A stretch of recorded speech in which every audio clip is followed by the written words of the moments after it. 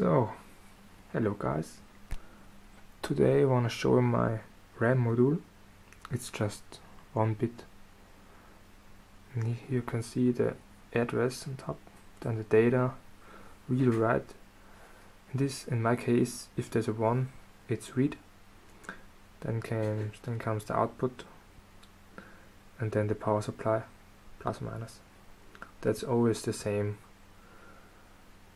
in my in my PCBs same way of, pins so and to save one bit that's the basic RS knowledge.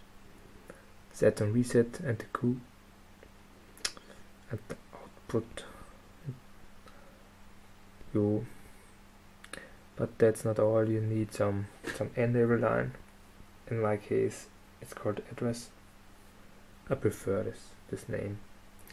Then you need a data pin that's just R and S connected and and the read write if you want to output it or you want to set or reset it. I think these three pins are needed to make a nice RAM. So uh, now it's in the breadboard, power is on. So first of all we need to we want to read then we don't need the data and then the address as you can see with this LED there there's nothing stored. And always then if you're finished with read or writing always from the right to the left. And if you want to read or write from the left to the right. It's very important. So that one and this. Now we want to read. Uh, uh, okay now write. It's zero then the data we want to write a 1 and then the address. Now from right to right left we move them. Now we want to read them. We don't need the data. And the address.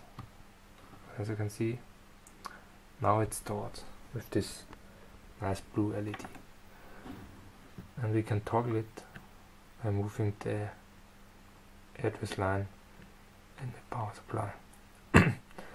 And if you don't move now from right to left if you start and from left you disconnect it now you write a zero.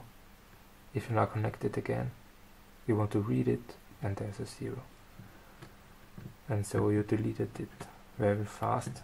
Maybe I will use it in my programming but I don't know. Now we want to write it again.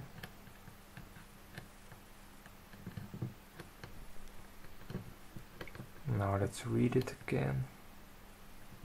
So there is it.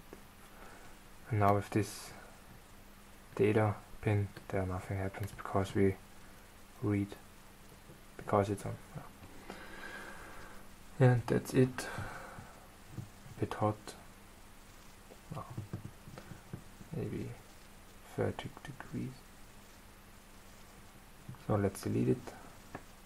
Bing and nothing is stored. So yeah that's it. So thank you and see you in the next video